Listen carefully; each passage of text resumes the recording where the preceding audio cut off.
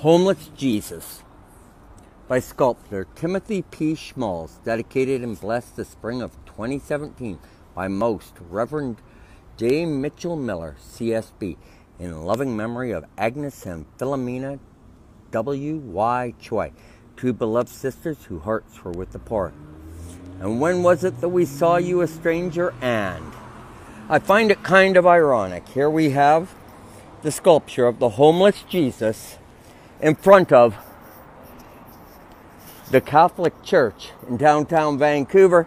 And maybe he's homeless because the church has locked him out.